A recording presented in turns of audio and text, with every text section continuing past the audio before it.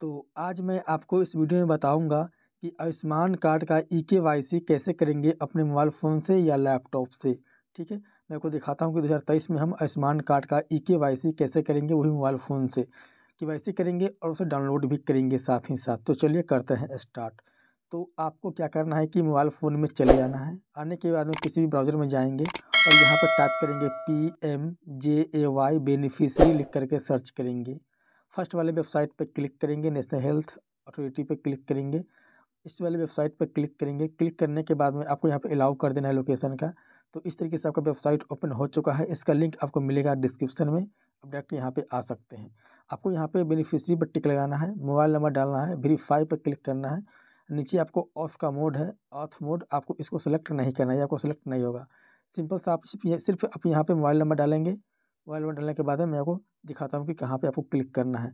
तो यहाँ पे मैं मोबाइल नंबर मैनुअली डाल दिया हूँ, ये मैंने कट नहीं किया हूँ, ताकि आपको समझ में आ सके, ठीक है। तो यहाँ पे हमने मोबाइल नंबर को फिल कर दिया हूँ। फिल करने के बाद हम इसे जूम इन करते हैं, ठीक है। और यहाँ पे आपको क्लिक करना है, ये देखिए हाईलाइट हो गया वेरीफाई आपको इस पर क्लिक करना है। वेरीफाई पर क्लिक करेंगे, यहाँ पे आपको दिख रहा होगा, दाहिने साइड में यहाँ पे वेरीफाई आप इस पर क्लिक करेंगे। इस पर क्लिक करेंगे, यहाँ ब्लूटिक क्लिक जाएगा आपका नंबर ओ जाएगा। आपके नंबर पर ओ जाएगा उस ओटीपी को यहाँ पे फिल करेंगे। ओटीपी फिल करने के बाद में कैप्चा को डालेंगे और लॉगिन पे क्लिक करेंगे। तो यहाँ पे हम ओटीपी को इस बॉक्स में ओटीपी को यहाँ पे पेस्ट कर देते हैं इस तरीके से, ठीक है? और कैप्चा को डालेंगे सेम टू सेम ठीक है? जैसा आपको दिख रहा है वैसा ही डालेंगे, ठीक है? तो यहाँ पर मैं इसे साइड कर लेता हूँ इस साइड ठीक है? और यहाँ पर डालता हूँ स्मॉल में वाई है फोर है स्मॉल एक्स है टू है जी एच है स्मॉल में। तो सेम टू सेम आपको कैप्चा को फिल करना है। तो कैप्चा को फिल करेंगे और लॉगिन पे नीचे क्लिक करेंगे। तो यहाँ पे मैं कैप्चा को डाल दिया हूँ इस तरीके से। कैप्चा को डालने के बाद में आपको यहाँ पे लॉगिन पे क्लिक कर देना है। तो हम यहाँ पे क्लिक करते हैं लॉगिन पे। ठीक है इस तो यहाँ पे मैंने लॉगिन पे क्लिक कर दिया हूँ। क्लिक करेंगे, कुछ सेकंड रुकेंगे तो आपको इस तरीके से ऑप्शन आएगा, आयुष्मान भारत प्रधानमंत्री जन आरोग्य योजना। ठीक है? आपको यहाँ पे स्टेट स्कीम डिस्ट्रिक्ट और यहाँ पे सर्च बाई को चूज़ करना है। तो स्टेट अपना चूज़ कर लेंगे। मैं यहाँ पे बिहार चूज़ किया हूँ क्योंकि मैं बिहार से हूँ। ठीक है?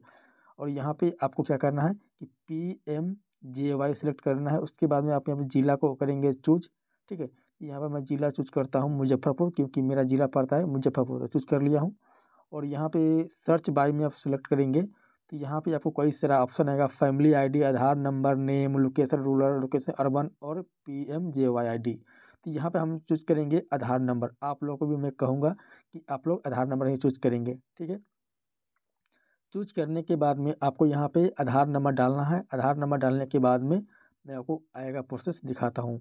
यहाँ पे आपको क्लिक करना है सर्च पे। यहाँ पे आपको सर्च का आइकन है अब इस पर क्लिक करेंगे आधार नंबर फिल करने के बाद में। तो यहाँ पे आपका डिटेल्स आ जाएगा।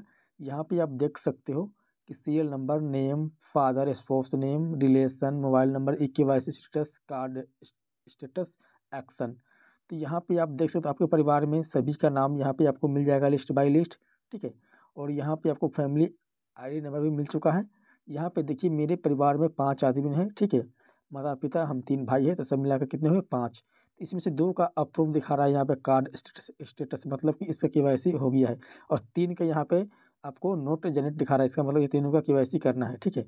यहाँ पर मैं किसी एक व्यक्ति का के करके मेरे को दिखाता हूँ। तो हम फोर्थ नंबर वाले को चूज़ करेंगे, जो कि मेरा ही नाम है, ठीक है? मेरा नाम भी इसमें गलत लिख दिया, बनाने वाले ने। तो हम क्या करेंगे? इसको के करेंगे।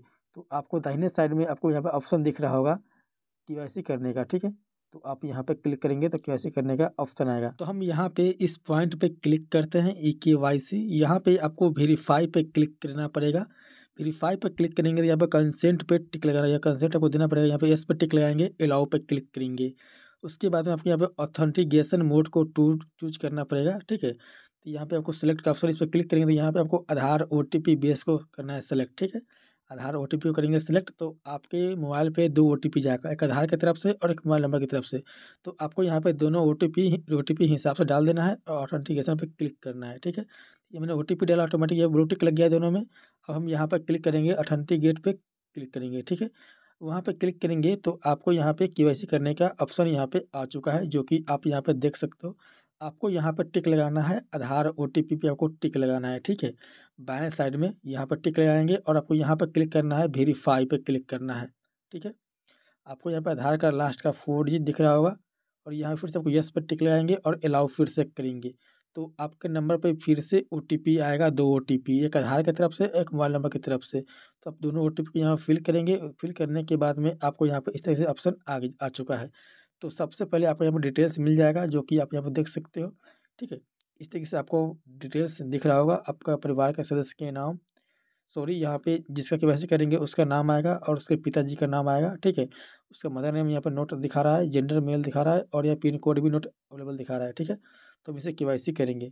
तो सबसे पहले हम इसमें एक लाइव फ़ोटो डालेंगे। ये फ़ोटो आधार से लिया गया ये फ़ोटो आपको काम नहीं करेगा, आपको यहाँ पर लाइव फ़ोटो देना पड़ेगा एक, ठीक है? तो हम क्या करेंगे? कि सबसे पहले यहाँ पे हम इसमें एक फ़ोटो को अपलोड करेंगे, ठीक है? यहाँ पे देखिए, यहाँ पे कुछ एड्रेस भी यहाँ पे सही से नहीं बता रहा है। तो हम के करेंगे ना तो आधार के थ्रू इसमें एड्रेस मैच कर जाएगा, ठीक है?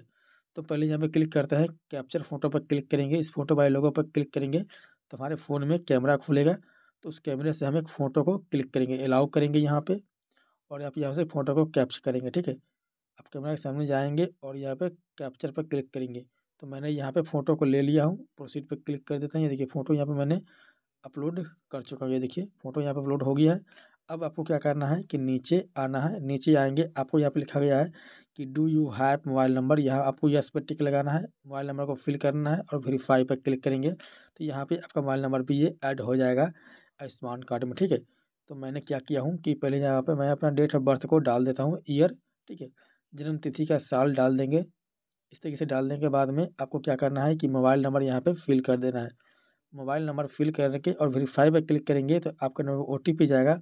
उस ओटीपी को डालेंगे तो आपका नंबर इसमें ऐड हो जाएगा, ठीक है? मैंने वेरीफाई पर क्लिक कर दिया हूँ।